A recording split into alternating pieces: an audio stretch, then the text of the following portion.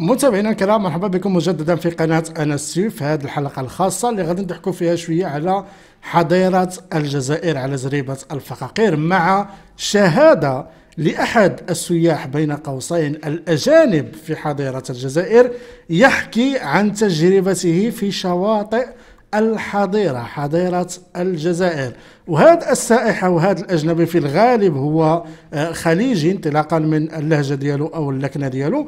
وغادي نشوفوا متابعينا الكرام التجربة اللي عاشها في شواطئ حضيرة الجزائر باش تعرفوا متابعينا الكرام علاش كنسميوهم حضيرة وعلاش كنسميوهم زريبة لأنهم زريبة وحاضرة بكل ما تحمل الكلمة من معنى. فشوفوا معايا مزيان متابعينا الكرام واستمعوا معايا مزيان لهذه الشهادة اللي غادي تستمعوا إليها الآن مع هذا الأجنبي أو آه، الخليجي اللي مشى لحضارة الجزائر وبغى يقوم بزيارة للشواطئ ديالها. فاستمعوا معايا مزيان.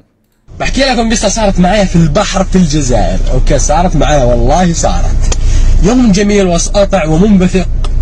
بالشمس والحرارة الجميلة. ذهبت إلى البحر فكرت إني أروح للبحر ويا ليتني لا. رحت قال لك فكرت أنه أمشي البحر في حضيرة الجزائر وليته لم يذهب. شوفوا معايا شوفوا معايا مزيان شنو غادي يلقى. جهزت الشاهي والطاولة والكرسي ورحت. رحت وقفت. نزلت. مستلقي في الشاطئ كأني كأني فقمة جالس.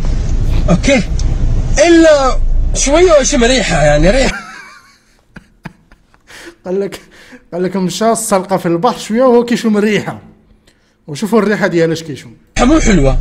إلا التفت يسار أشوف حرمه وابنها الصغير ورا حجرتين هي في النص.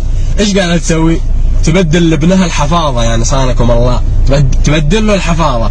أنا إيش دخلني؟ تبدل. إلا وشويه إيش أشوف؟ حاجة تطير. أجي أشوف إلا وهي ترمي الحفاظة في البحر. وين أروح؟ ترمي الحفاظة حق الولد في البحر.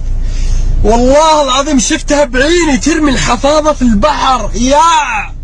يا! بعدين أنا شفت فيها كذا. منصدم. ممكن إنها تستحي تشوف إني أشوف فيها تستحي. عادي. ولا شيء. تناظرني كأنها تقول واش خاصك؟ واش راك باغي؟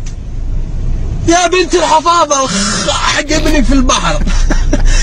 أنا بنزل وجهي وجسمي. اوه مو كذا والله مو كذا.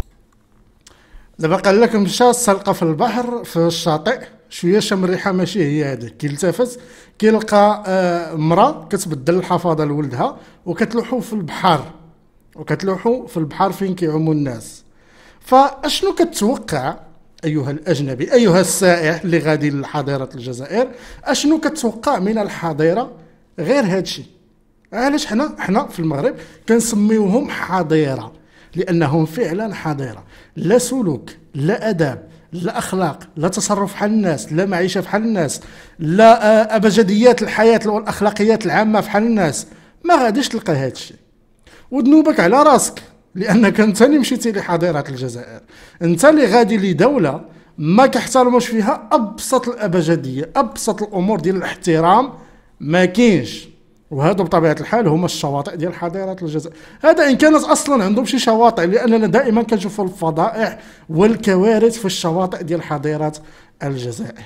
فهذا قال لك مشى ولقى الناس كتبدل الحفاضات تما يعني الليكوج ديال الدراري الصغار وكيلوحوهم بالريحة بديك الشيء اللي فيهم في البحر والناس كتعوم تماك. وبطبيعة الحال هذا بالنسبة لحضاره الجزائريين عادي جدا.